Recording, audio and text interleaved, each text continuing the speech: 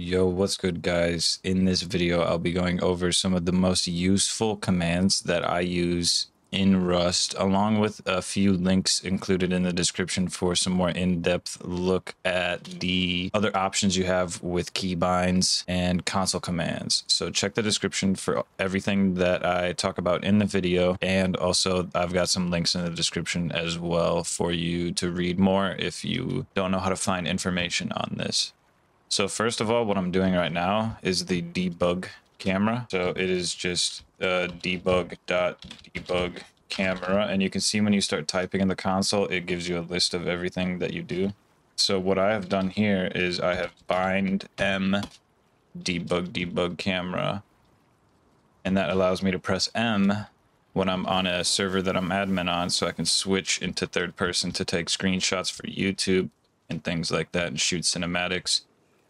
There is a whole wiki on all the commands associated with Rust Cinematics. I will include a link to that in the description below if you want to read more about it. And then there's also noclip, which I bind to my n before we move on. So I just do bind n noclip, and that's all it is. And then if you type write cfg, that will save your settings that you type in there so that every time you open Rust, it's the exact same settings that you've already done. So let's start from the top of the list. If you're trying to connect to a server that you found outside the game or a person has sent it to you and it's not loading, you just type client dot connect space and then the IP address with the port. And then we have fps dot limit and you can set your FPS limit like this. So I set mine to 60 or 144, or you could do 240 or 30 and then that will limit your FPS. If you set it to negative one, that is unlimited FPS. So you can see I have mine set to like 100 or something right now, or maybe 80 in the bottom left corner. And to see that in the bottom left corner, you type perf one, and you can go perf two, three, four, and I think up to five. And each of these has additional things that will show up in the bottom left corner of your screen. After that, we have the combat log, so you bind F2 console toggle combat log, and then when I press F2, it shows me the past uh, 30 events that have taken place. So if I were to shoot something or someone, and I wanted to see that, I just press F2 and it will show me that, but it says combat log is empty right now. Next we have bind C duck and I'm not holding anything right now. It's just permanently bound. I'm not sure if this is like in the actual settings to toggle crouch nowadays, but that's how you do it. And then I press control to stand up. So I have C bound to permanently crouch so I don't have to press and hold control. And that is just bind C duck. Next we have bind X attack duck and what this will do is permanently attack when you push that key. So if I have an axe and I'm chopping down a bunch of trees, I just press X and then I'm not touching anything and it'll just keep going. This is also how people stay loaded in a server. They'll swing like a hammer, press this key bind, and to cancel it, you just left click. So this is how people stay on servers when they're AFK without getting booted. After that, we have bind Z forward sprint. So when I push Z, Automatically running without touching anything, and then I can look around. I can alt look around. Then when I push W, it stops. We have graphics.waves zero, which turns the waves in the oceans off. Um, so the new waves are quite violent, and to turn those off, it's just waves dot zero. I've got mine turned off already, so you can see it's just the normal water instead of the big, huge waves.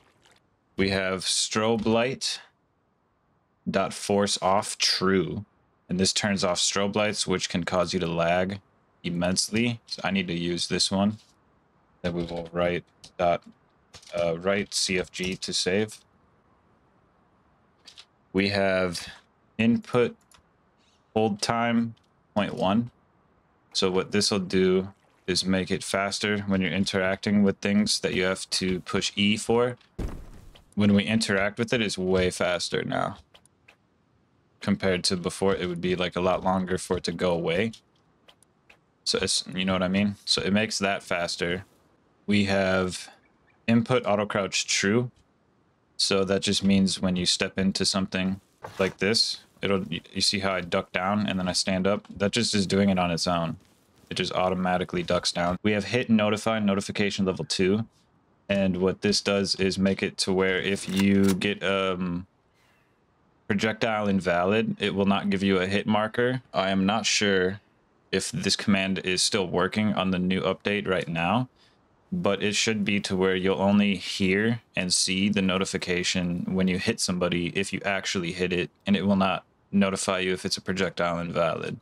We've also got client look at radius 20.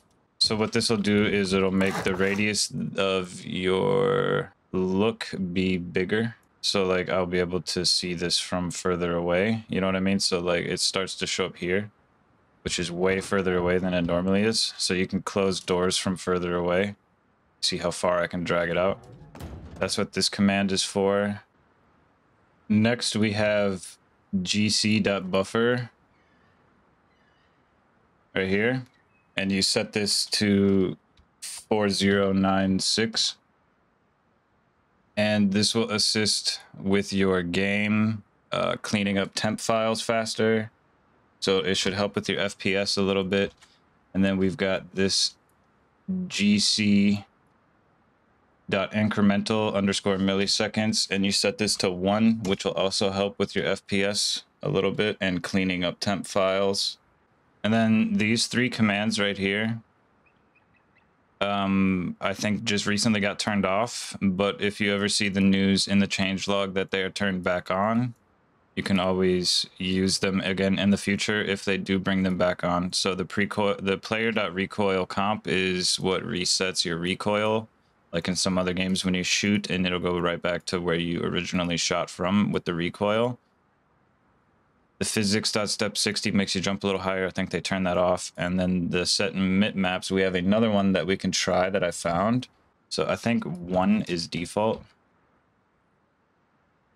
Let's see how far away we can go before that wind turbine disappears about right here. If we're over here and we set it to two, you see it dis- disappears at 0.25 i'm not sure what disappears with that i think it's just deployables so this could potentially help with your fps by not loading in deployables if they're like far away so be careful with this one and i, I think one is default to set it back that's what it appears to be so like you see it's not loaded in right here we put it back to one then it loads back in. I'm going to leave mine on 0.25 and just play around with it and see if it helps with my FPS. And the set and mit map bias is the one that they turned off recently. So I'll also have uh, these links right here in the description below. We can go over them real quick just to see what they are. So we have the wiki.facepunch.com and it goes over some of the keybinds that you can do. Like if you wanted to aim down your sights and then have your flashlight turn on, I have my flashlight bound to my mouse instead of F.